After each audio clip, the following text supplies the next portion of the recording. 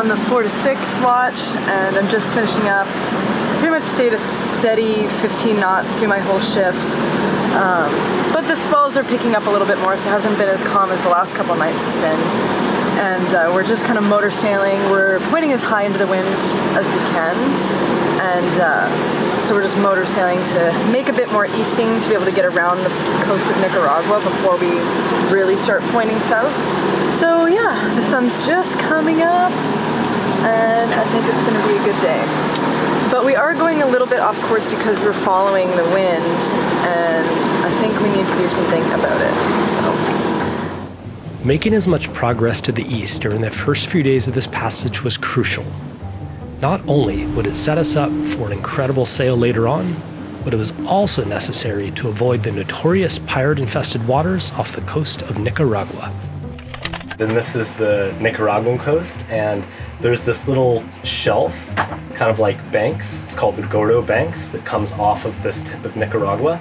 Uh, and there's a lot of fishermen that hang out there, and because uh, of the political situation in Nicaragua. Uh, times are bad there, sort of like it's been in Venezuela.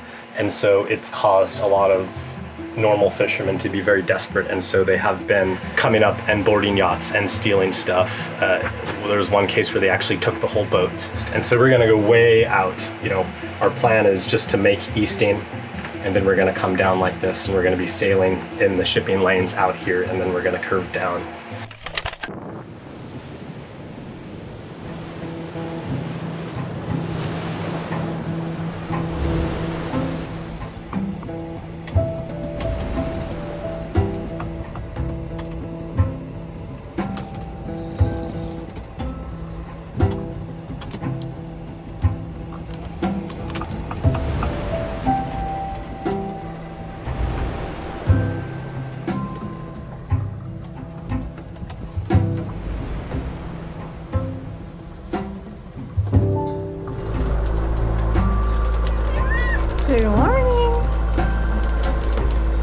Good on.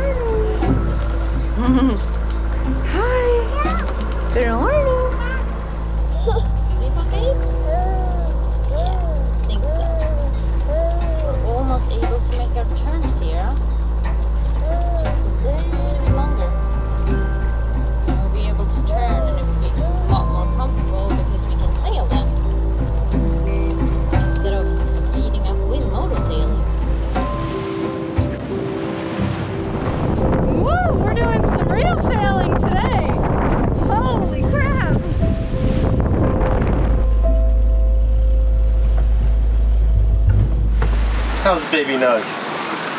She's okay. She woke up and she was really happy, but then the wind picked up another few knots, and we started really leaning, and she just puked up all her breakfast. Oh. It's hard because if I don't like give her a show to watch, like she does not lay still, and that's even worse when she's trying to like run around when we're leaning like this. I mean, I wish she was old enough so I could like tell her like just sit here and watch the horizon. yeah. She doesn't get that. The good news is that in approximately six hours, we will be done with our easting. Oh. Done, done, done.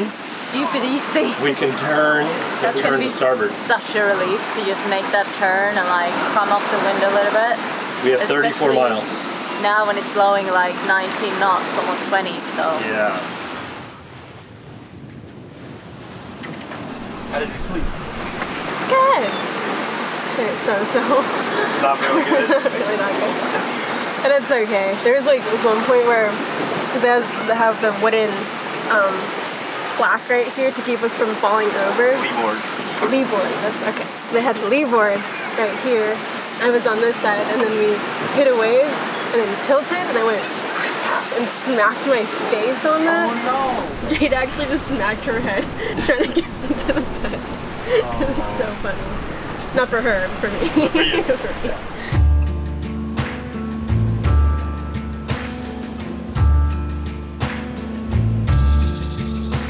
We find ourselves nearing the halfway mark of the passage, and we finally got some wind, although we were hard on it, continuing our easting before we make our glorious turn south and put the wind a little more on the beam. I often find myself mesmerized by the waves and the immense power they contain. I can easily spend an entire watch hypnotized by the waves and how the whole of Delos works her way up, over, and sometimes through. When she gets powered up and heeled over, it feels very graceful, almost like she's flying along on rails in the ocean. There's nothing else in life that I can compare to it.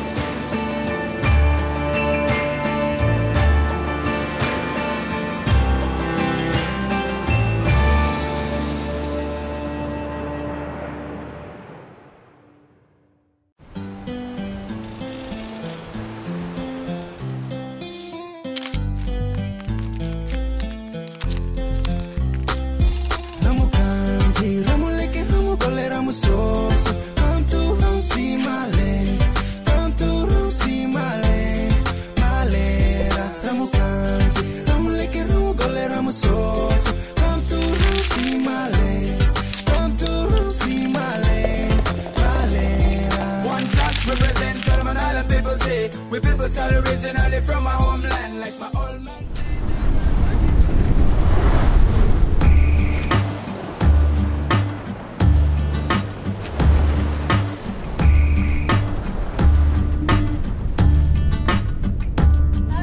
Now it's blowing a solid 20 true, 25 apparent.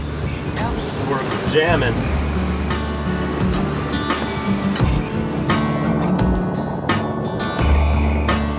Solid 20s, hey? This is fun.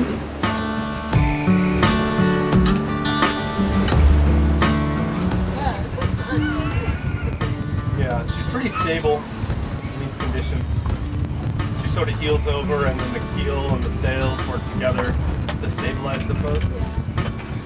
It's like cool to see like the waves just like pouring off to the side. Yeah, she just pushes them out of the way or they go under. cuts. Yeah.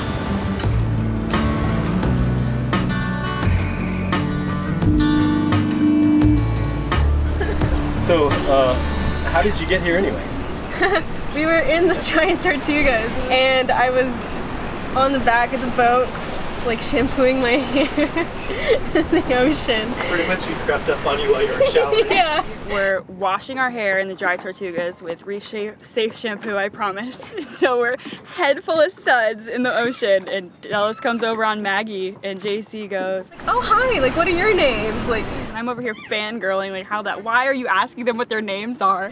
Jade comes out and she's like, "That's Delos." And I was like I was like, "Oh shoot." I'm like trying to like make myself look presentable. They invited us to the beach and became friends, took them sailing, and right before one of our charters, Brad came on and he started going off about like our jobs and like how we won't be here for a while, and I thought I was getting fired. And we've been thinking that because business is kind of declining, that we probably don't need three mates. I can't fire my girlfriend. So one of you guys has to go on Delos. That's mostly true, but there's actually a little bit more to this story. When we met the gang at the Dry Tortugas, Brad mentioned to us that Jade had actually watched our videos with her dad growing up in Ohio. I started watching Delos on YouTube and kind of realized that this whole lifestyle is a possi- like possible. I kind of grew up in a cornfield, as people like to say, so I didn't know that people even lived on boats or did that sort of thing. So I graduated high school, saved up some money, quit my job, moved across the country, bought a boat, had never even stayed the night on a boat before, didn't know what a cleat was or how to tie one. I just bought a boat. When we heard this, we decided to bring it full circle and invite both of them along for the sail. And next thing you know, I get offered a sailing scholarship, and here we are. Here we are. First time leaving the country Awesome. in the best way possible. That's amazing.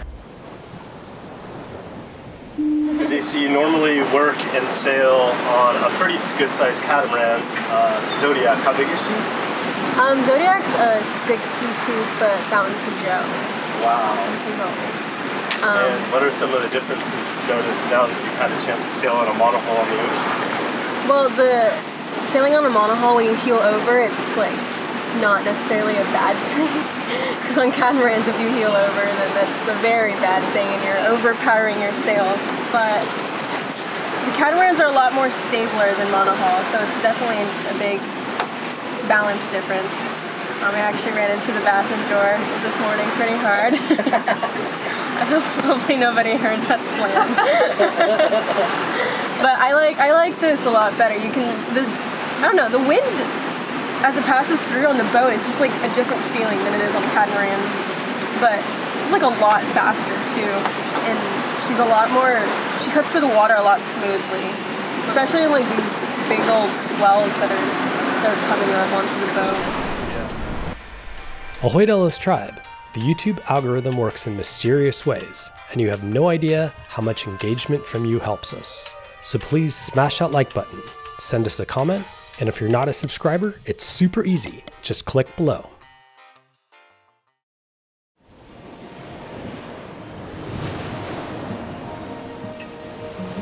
As we edged closer to rounding the dreaded pirate waters of Nicaragua, I gathered everyone together for a briefing, just in case the worst imaginable, however unlikely, became a reality.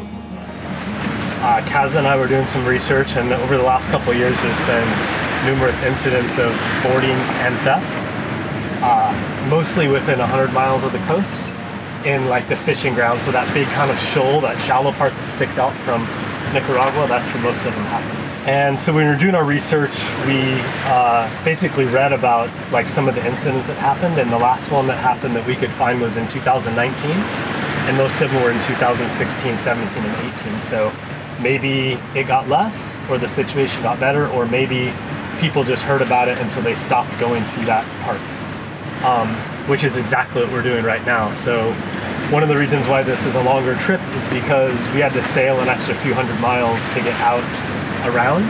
Most people recommend going at least 100 miles off the coast, but we're like 230 miles off the coast. Extra safe. Extra safe. In fact, we're closer to Jamaica than Nicaragua at the moment. So that's why we planned our route is just like to go way out to sea to get away from any islands because I think one of the incidents I, I read about was that uh, it was light winds and the guy was like sailing very slowly and he sailed quite close to one of the islands on the shallows and then a small fiberglass boat came out with an outboard with two guys in it and asked him to trade fish for like cigarettes and alcohol.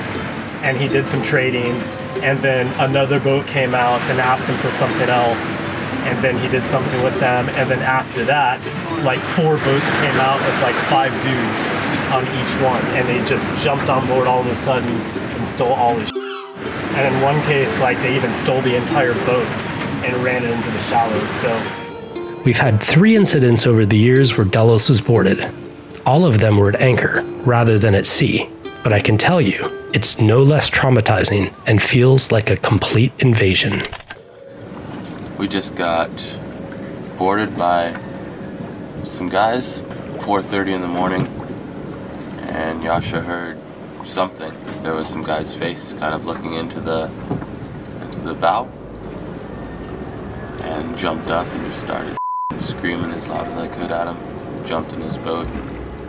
It's probably one of the scariest things that can happen cruising is your home. You know, it's just like your home being invaded. That's the second time it's happened to us. It came out a lot better this time. First time was in Solomon's. Uh, so in general, we're just going to go as fast as possible. If we need to motor sail, we're going to motor sail. We're just going to keep moving. We're also going to go dark. So I turned off the AIS. AIS is now in like silent mode, so we can receive like the transmissions from the big ships and stuff, but we're not transmitting anything. Uh, and also lights. So we're going to run at night. We're going to be dark. So we're going to run uh, turn the, the lights down in the cockpit. We're going to turn off the nav lights. If we see a big ship coming, and it is an actual ship, like you can see it on AIS, you see it on radar, and we're getting a little bit close, then we can pop on the lights, but then after they go away, we should turn them back off again. If anybody approaches us, you just let people know that you're alert and you're awake and you're watching out. And so, like, when we were in Indonesia and people would approach the boat, we would just shine a, a light on them and 100% of the time they left because they know you're up and watching. So, you know, we're going to be checking radar. If we see any strange targets, like a small fiberglass panga won't show up until it gets quite close to the boat. Um, so if somebody sneaks up on us, we have this horn right here. So I would just blow this horn, wake the entire crew up, and then we should just come running out like a bunch of crazy people. The guy. Hey! Hey! Over here! Over here!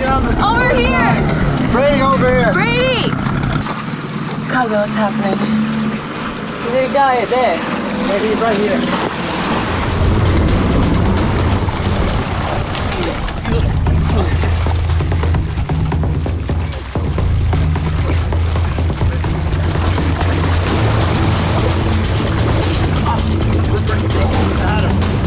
So scary though.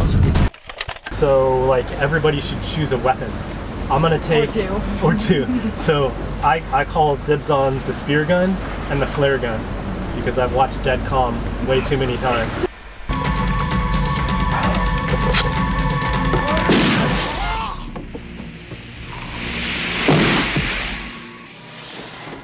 I've actually picked out one for JC already. Is it machete?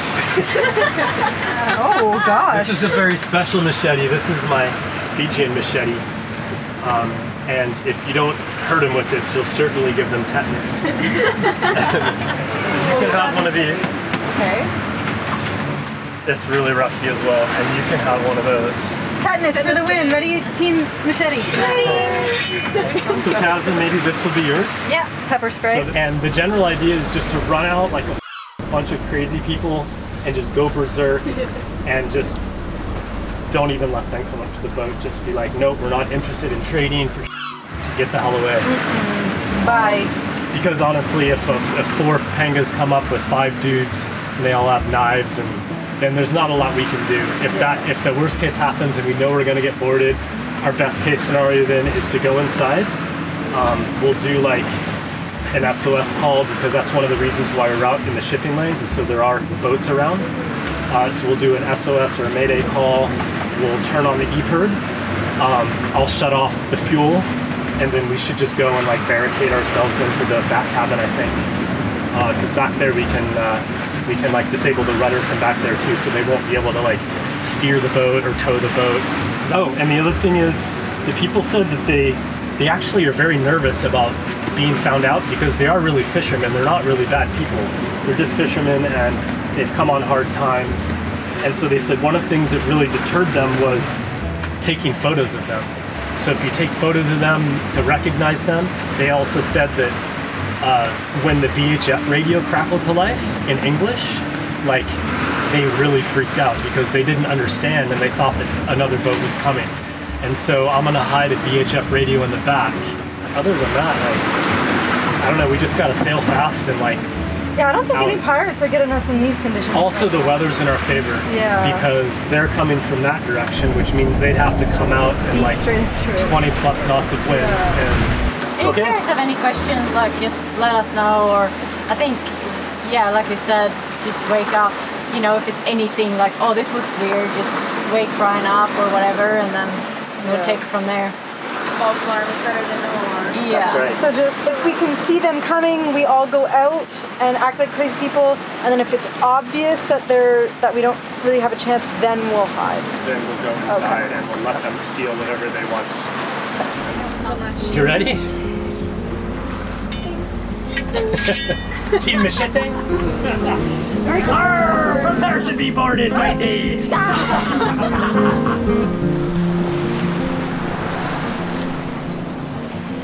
mateys! Totally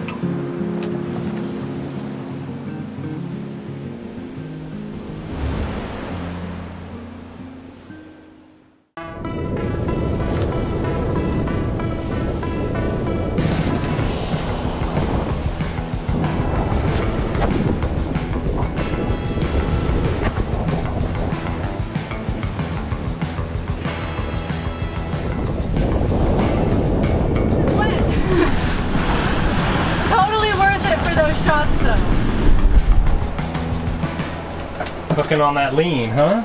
Not lean, bro. Getting those gains. you don't get this much muscle just eating veggies, dude.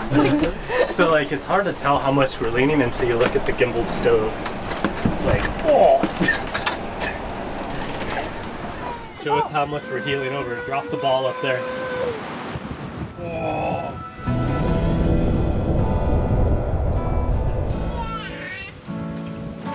Ugh, I know, Nugs. We're in the middle of the ocean and it's 25 knots. We're seeing like 30 apparent now, so we're gonna go down to our second reef. Luckily, it's pretty easy to do.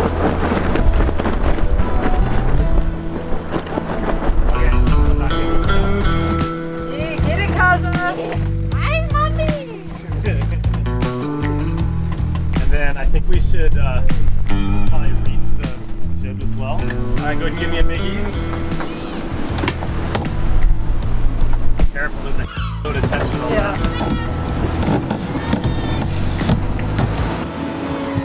Better. We lost uh, one and a half knots of boat speed, but we're we're leveled out.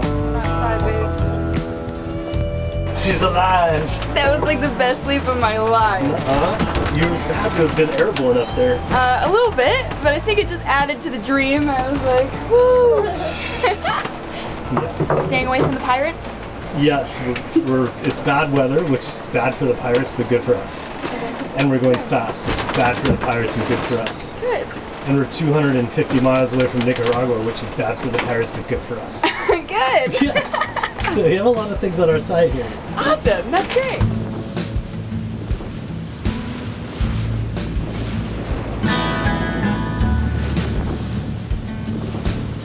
What a sunset, huh? Yeah.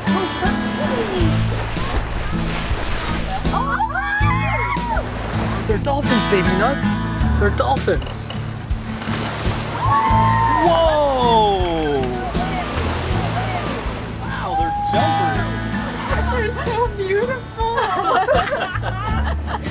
Come tell me that they're real. Like, that was so cool.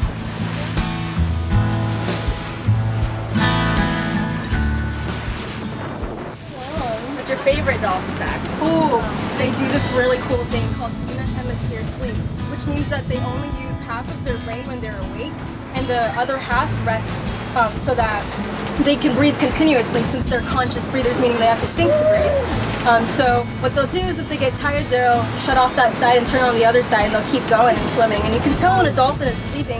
They'll kind of, um, if it's like a pod of females, they'll circle around. Um, but if it's a pod of males, they'll usually just wake through the water really, really slowly. So they have been known to chew on pufferfish and then pass the pufferfish around because they, they feel the toxins of the pufferfish and they get a sort get of little euphoric buzz. effect from the pufferfish. They get Don't Like a, dol- a dolphin joint. They do. Dolphins do have sex with pleasure. Dolphins have sex for pleasure. Yeah. Yeah, I heard that.